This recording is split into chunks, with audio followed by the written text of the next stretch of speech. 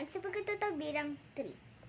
Sagutan ang talaan na mga gawi na nakasasama sa iyong tahanan. Iguhit ang malungkot na muka sa hanay ng oo kung oo ang iyong sagot at iguhit ang masayang muka sa hanay na hindi kung hindi. Gawin ito sa iyong sagot ang puti. Ano yung mali? Okay. Ang gaw- na- mga gawi na, na, na nakasasama sa tahanan. Oo, hindi. Number one, pinaghihiwalay ang mga basurang nabubulok at hindi nabubulok. O, Oh. nakakasama ba? Hindi.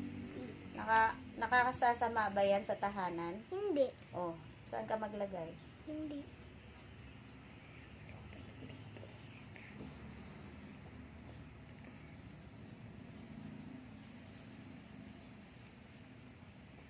Number two, nagtatanim ng halaman sa bakuran. Nakakasama ba yan? Hindi.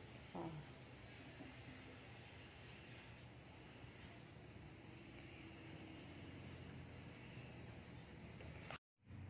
Number three, iniiwasan ang pagsusunog ng basura. Oo, hindi.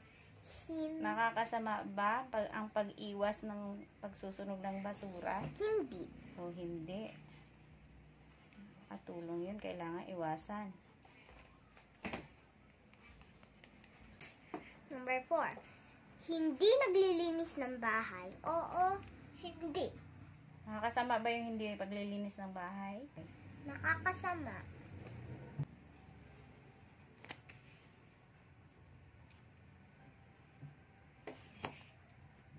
Number five, pinanatiling malinis ang tahanan. Oo, hindi.